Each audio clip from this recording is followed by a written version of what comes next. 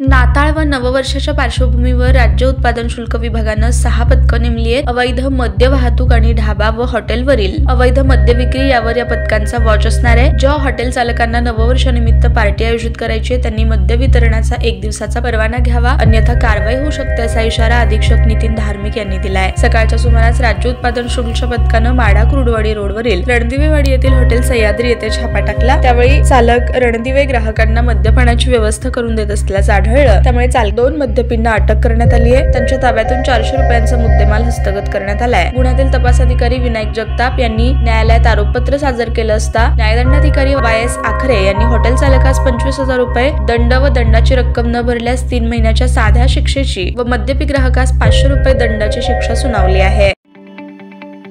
ताज्या बातम्या पाहण्यासाठी प्राईम महाराष्ट्र न्यूज चॅनलला सबस्क्राईब करा.